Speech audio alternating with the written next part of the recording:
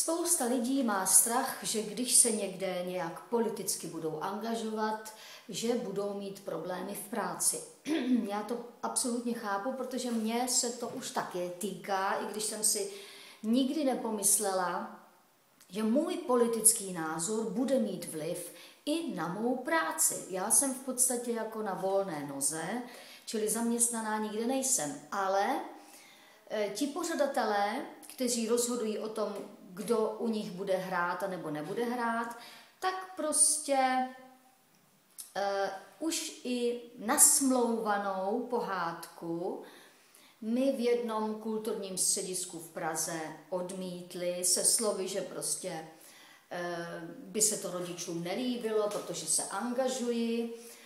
A uh, když mě někdo požádá, abych napsala, kdo to byl, tak to tady ráda zveřejním protože e, si myslím, že jsme tam, kde jsme byli před rokem 89, kdy prostě, když jste se vyjádřil nějak proti tomu mainstreamu, tak jste byl persekuován.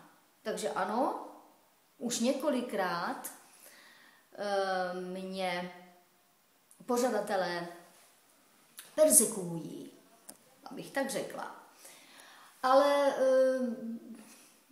přesto nechci přestat s tím, co dělám, se svými protesty, protože si říkám, oni potom nakonec uvidí, kdo tu pravdu měl a každopádně nechci, nechci být na konci pojmenovaná jako kolaborant, protože to je nejhorší nadávka, kterou v dnešní době tak nějak znám. Kolaborant.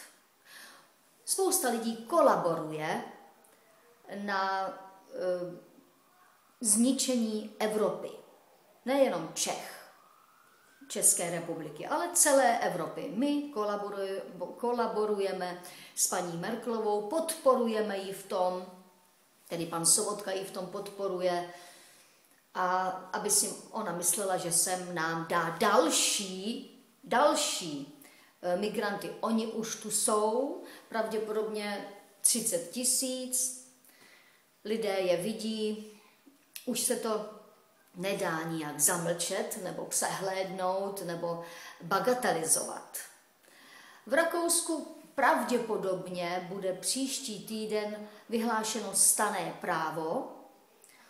To znamená spoustu věcí ale hlavně je to omezení pro e, obyvatele, pro normální Rakušany, kteří budou jenom trpět tím, že nebudou moci třeba od 20 hodin chodit ven a tak dále. No prostě co všechno stané právo sebou nese.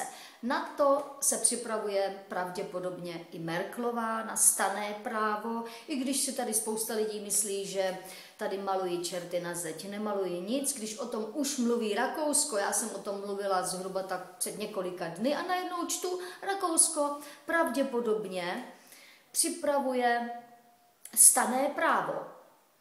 Takže když to dělá Rakousko, brzo se na to vrhne i Německo. Ona ta situace je totiž neudržitelná. Policie už dávno selhává. E, kriminální činy migrantů se prostě ani už skoro nedají e, všechny sepsat.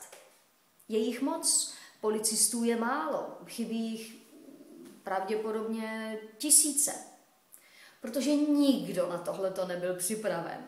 Oni si všichni mysleli, že ano, přijde pár uh, uprchlíků, ano, přijde jich pár a nějak to tu zvládneme. Nezvládneme. E, výdaje na ně jsou astronomické. A e, politická situace se vyvíjí tím směrem, že za chvíli i politici přiznají, že situace je nezvladatelná, že e, Merklová nedávno řekla, že je budeme muset vracet. Takže ona je nejdřív nechá přijet, potom tady se s nima bude někdo patlat, budou tady žít dva, tři roky a pak možná, když ten uprchlík bude chtít, tak možná odjede. Ale možná taky neodjede. Ale spíš přijede třeba jeho celá rodina. My e, bohužel to všechno není v našich rukách. My se všichni snažíme. Každý vlastenec dělá, co může, což je absolutně v pořádku, protože e, si neumím představit, že bych se k tomu nevyjadřovala, protože to slovo kolaborant, nebo prostě jenom e, tichý pozorovatel, to nejde. Tohleto politické dění nejde bez komentáře jenom tak sledovat. Tady se musí každý angažovat, minimálně musíme jít k volbám, protože eh, gigantoman Babiš, toho už bylo dost, Sobotků bylo taky dost, Schwarzenbergů, eh, Stropnických a tak dále. My všichni víme, kdo oni jsou, co oni vlastně způsobili. A bohužel, bohužel musím říct, eh, pan Zeman mě velice zklamal, protože on mohl a protože, jak všichni víme, prezident je velitelem ozbrojených sil, tak měl už nějak jednat. Jakkoliv Orbán, Orbán eh, staví plot a řekne, k nám prostě nikdo nepůjde. Prezident sice říká, že k nám nikdo nepůjde, ale, nepůjde, ale je jich tu asi 30 tisíc. Takže prezident pravděpodobně velice dobře ví, že sám lže, přesně tak jako, jako e, ostatní politici. Je mi to moc líto, že tohle to musím říkat. Eh, on je to sympatiák, jeho bonmoty jsou třeba někdy i vtipné, ale nejedná. Nejedná tak, jak by měl podle svých možností. On ty možnosti má a přesto nejedná. A u nás budou ty sociální nepokoje také, přesně tak, jako jsou v Německu. Bude se tu více radikalizovat obyvatelstvo, bude tu vznikat pravděpodobně i taková ta silná eh, protest, protest strana, něco jako antifa. Takže to všechno tady bude, bude velice nebezpečno.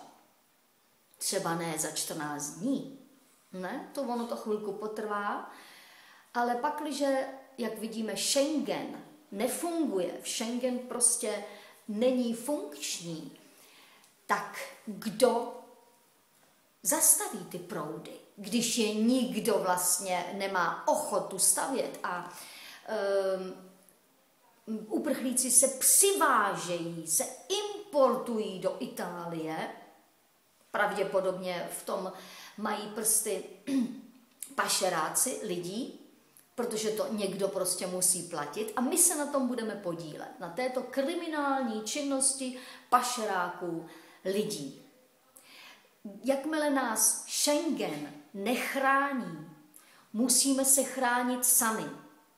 A náš prezident by měl dát rozkaz, aby se kontrolovaly hranice, aby se začaly nějak obnovovat i zelené hranice, například nevím, s Rakouskem. Rakousko nikoho eh, tam nebude pouštět, tak možná ne s Rakouskem, ale každopádně s Německem. No prostě musíme se e, pomalu začít snažit o to, abychom se sami uchránili. Protože Evropská unie nás nechce chránit. Evropská unie nám sem chce přidat další tisíce. I po těch, které už tu máme. My pořád slyšíme, že tu nejsou. Oni tu jsou, všichni lžou. Já to nechápu. Já teda nejsem svatoušek, ale takovéhle lži přímo do očí, no, to je, to je opravdu trochu moc. To je prostě i pro toho, kdo se politikou dříve vůbec nezajímal, tak to je opravdu tvrdý oříšek, tohle to zkousnout, to, to nemám ochotu, nemám vůbec ochotu e, říkat, ano, oni tu nejsou, vždyť se nás to netýká, oni sem nechtějí. jsou lži. A kdo to nevidí, tak tomu bohužel není pomoci. Ale zase je tu eh, jedna pozitivní věc, že čas, čas nám všem ukáže,